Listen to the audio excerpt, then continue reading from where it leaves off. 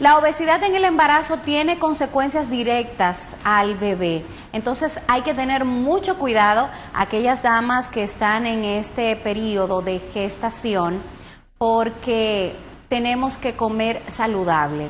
No se debe aumentar eh, mucho de peso porque podría afectar al bebé y también a nosotros eh, nuestra salud, a nosotras las mujeres, subirse la presión y demás. La obesidad en el embarazo tiene pues consecuencias muy directas en el recién nacido.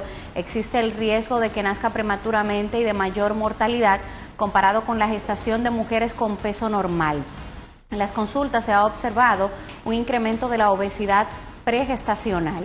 En los últimos 10 y 15 años ha aumentado el número de mujeres con obesidad en el embarazo una incidencia acorde con las tasas en alza de esta enfermedad en la población general. Así lo explica la doctora Cristina Ruiz Serrano, eh, médico adjunta del Servicio de Pediatría del Hospital Universitario Fundación Jiménez Díaz.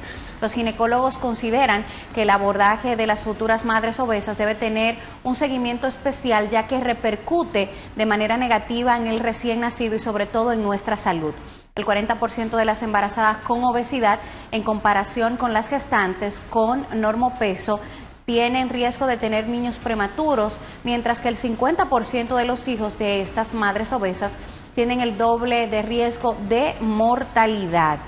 Siempre teniendo en cuenta que la tasa de mortalidad neonatal es muy baja, puntualiza la pediatra. En cuanto a los bebés prematuros y la obesidad en el embarazo, es importante que usted escuche con atención este dato y es que los partos prematuros antes de las 32 semanas de gestación pueden ser consecuencia, entre otras situaciones, de un cuadro de preclancia de la madre que padece hipertensión o diabetes gestacional, plaquetas bajas que conlleva adelantar el nacimiento ante el riesgo de la vida de la madre los bebés prematuros de madres obesas nacen con más peso que el que corresponde a ese periodo gestacional y que si ese embarazo llegara a término, el niño superaría los 4 kilos de peso frente a los 3-3, 5 de un niño de madre sin exceso de peso. Por eso es importante que controlemos cada día lo que ingerimos, más eh, una dieta saludable, vegetales, ensaladas,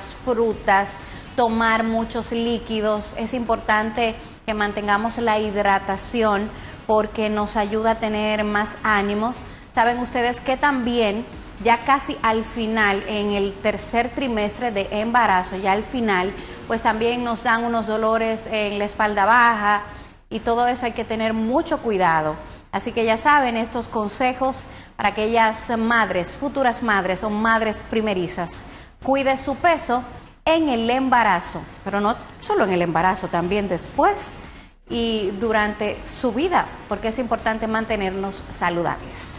Entre Jerez apenas inicia con todo el contenido del día de hoy, reportaje de Princesa Salón Rafelina, compartiremos algunas informaciones sumamente interesantes que nos competen tanto en el plano local como en el plano nacional. Así que no se muevan. Porque una sola pantalla no es suficiente. Entre Jerez en las redes sociales. Entre Jerez en familia.